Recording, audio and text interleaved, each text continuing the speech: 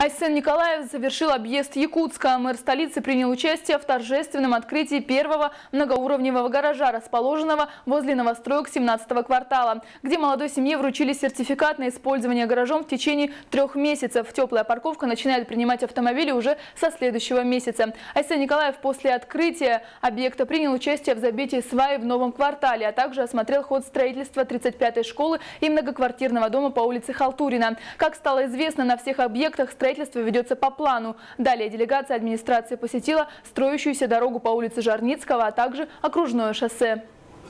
Срок по контракту 31 октября был, и практически как раз мы, как и договаривались, в этом году первый слой асфальта положен, вот, движение уже можно будет открывать. Э, вот сейчас, после того, как будут решены вопросы по э, переносам э, сетей связи э, ближайшие дни. Ну и хочу сказать, что уже в следующем году будет окончательный верхний слой уложен так, э, с тем, чтобы продолжить уже реконструкцию окружного шоссе дальше до Вилюйского тракта.